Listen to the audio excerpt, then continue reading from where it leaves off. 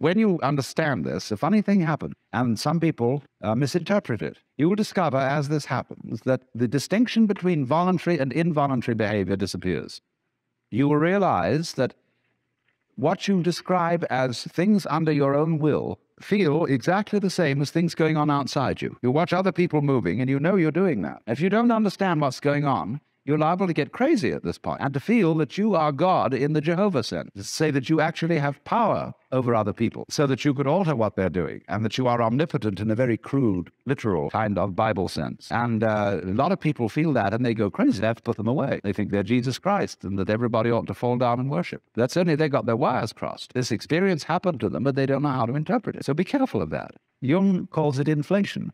People who get the holy man syndrome. I suddenly discover that I'm the Lord and that I'm above good and evil and so on, and therefore I start giving myself airs and graces. But the point is, everybody else is too.